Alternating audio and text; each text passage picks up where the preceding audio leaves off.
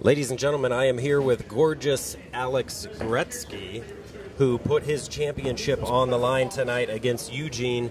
Now, do you really feel good about your win here tonight?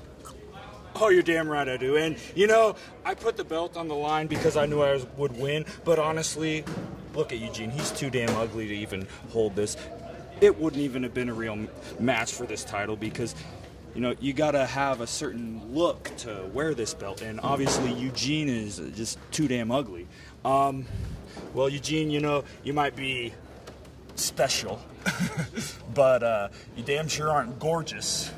Uh, there's only one gorgeous one in Magnum, and his name is Gorgeous Alex Gretzky.